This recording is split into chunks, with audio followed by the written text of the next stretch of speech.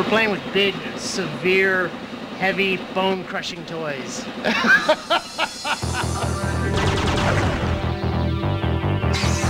We're building a security robot of the near-term future. And he said, you got two weeks. And I go, oh my God, are you kidding me?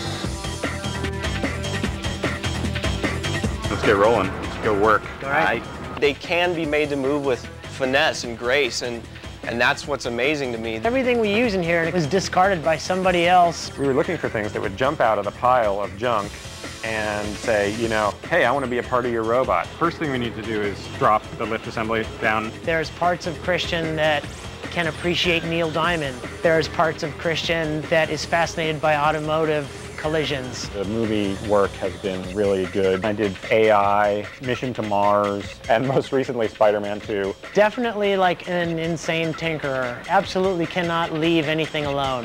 I picked up this pretty heavy bearing and chucked it at the wall and screamed and uh, felt better.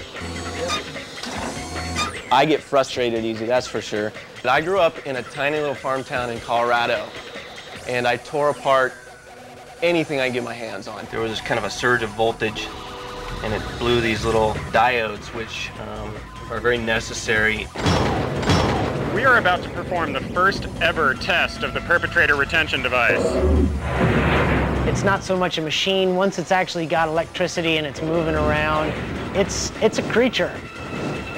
That would allow police or the management to basically see what the robot sees at any given time. They're my friends. I make them. That's kind of how it is. I mean, I actually have friends. I'm not totally helpless, but you know, worst comes to worst, I could make my own friends, I guess. so getting in here and, and, putting in these devices that feel like organs and plumbing them and doing all this sort of like radical stuff to it, it's hot, you know, it's good stuff. It'll weigh over a thousand pounds and it, will be pretty quick. It's gonna be, it's gonna be startling. We used all the, all the destructive tools of the trade. I'm using some pretty basic, straightforward technologies, and I'm doing stupid stuff with them, but it's entertaining. I'm having a blast. I don't think there's going to be any problem. I hope he's right. I absolutely hope he's right. You have to think of what's the stupidest, craziest, most entertaining thing I could possibly conceive of, and then do it.